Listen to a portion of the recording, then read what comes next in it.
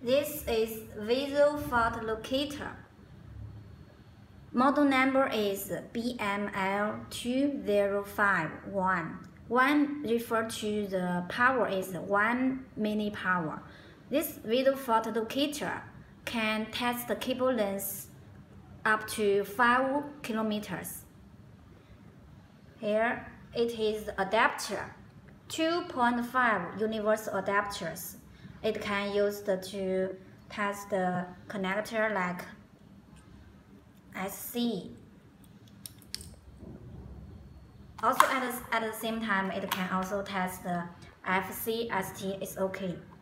And here is the hybrid adapter.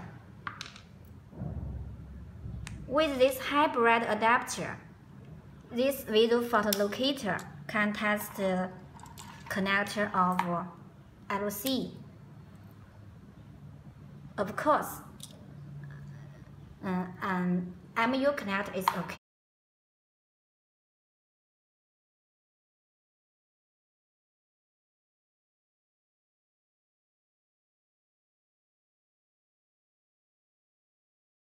Then here is the battery.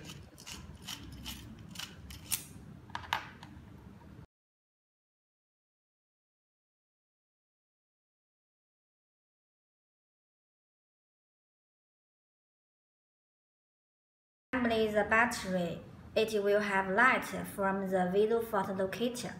Here I will show you three models. First, off model, off, no light. And then CW model, is, it means on. You see, there is light.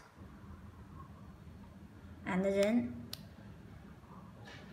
flash model, can see the light is a flash.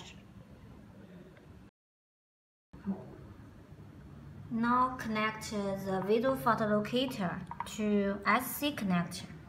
You can see light out. It shows the cable is okay, no breakout in the middle. And here I show the model, flash model. You can see flash model. Okay. Now let's change to 1.5, 1.25 adapter.